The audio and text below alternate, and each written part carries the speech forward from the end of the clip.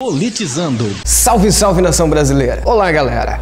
Como vai vocês? Bom, tirando o fato de que eu estou muito mal da alergia hoje, o restante está bem. Bom, essa semana é a semana em que o governador do estado de Mato Grosso, Sival Barbosa, faz uma visita ao Norte Araguaia. Depois de um bom tempo sem visitar a região Norte Araguaia, o governador agora resolveu fazer uma visita. A partir desta sexta-feira, o governador vai estar ali na aldeia, no Parque do Xingu, e ali ele vai conversar com as lideranças indígenas é, para discutir aí o asfaltamento da MT 322 antiga BR 080.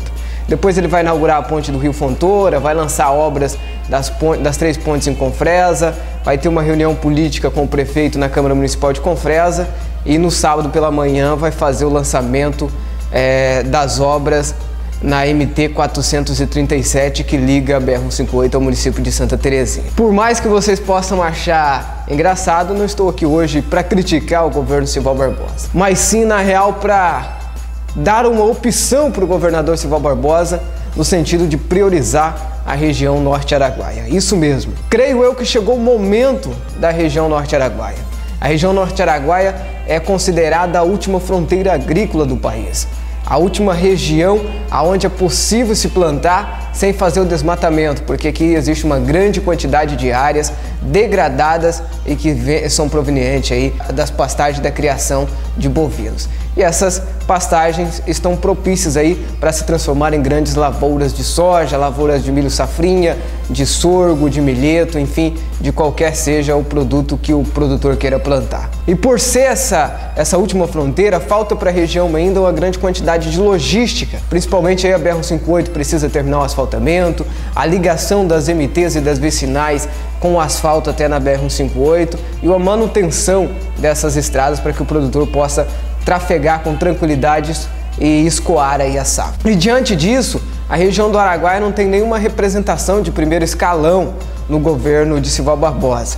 É, se você vê de Barra do Garças até Vila Rica, não, não tem nenhum representante lá no governo do Sival Barbosa de primeiro escalão. Não tem nenhum secretário é, na região do Araguaia. Na época de Blairo Maggi tinha ali de Canarana, tinha um secretário que era secretário de Agricultura, não me recordo o nome dele aqui agora, inclusive foi candidato a deputado, só não me recordo o nome. Então acredito que chegou a hora do governo Silval Barbosa priorizar o Araguaia e dar para o Araguaia uma liderança de primeiro escalão.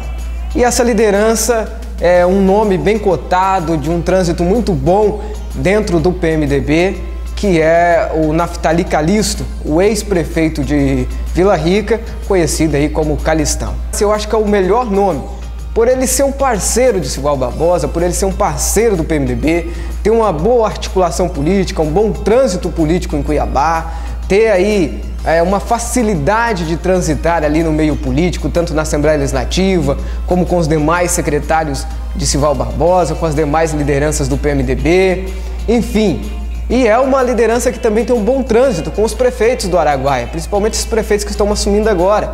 É uma liderança de fácil acesso a esses prefeitos. Então eu creio que Sival Barbosa, se você analisar bem e priorizar o Araguaia, principalmente neste momento em que o Araguaia vai receber aí o MT integrado, vai receber grandes obras importantes do seu governo, seria a hora sim do Araguaia ter um primeiro escalão no seu governo. E a minha indicação, a minha análise de um melhor nome para isso seria o Naftali Calisto, o ex-prefeito de Vila Rica, o Calistão.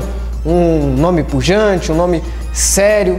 E eu acho que está na hora, Silvio Barbosa, de você prestigiar o Araguaia e dar para o Calistão uma secretaria aí de primeiro escalão. Pode ser a CECITEC, pode ser até inclusive a Secretaria de Agricultura, enfim, pode ser algo que venha beneficiar inteiramente o Araguaia. E o Araguaia está representado através do Calistão no seu governo, em poder aos prefeitos e buscar através do Calistão as demandas que o Araguaia precisa e olha lá, que são muitas demandas que o Araguaia precisa. Então fica aí a minha dica, fica aí a minha análise, chegou a vez, chegou a hora do Araguaia, é hora do Calistão assumir um primeiro escalão, sendo o secretário da região do Araguaia. Muito obrigado a você que sempre acompanha os nossos vídeos, lembrando sempre de compartilhar nas redes sociais, clicar em gostei, deixar aí o seu feedback, deixar seu comentário, a sua análise sobre os nossos vídeos, é muito importante para o nosso crescimento.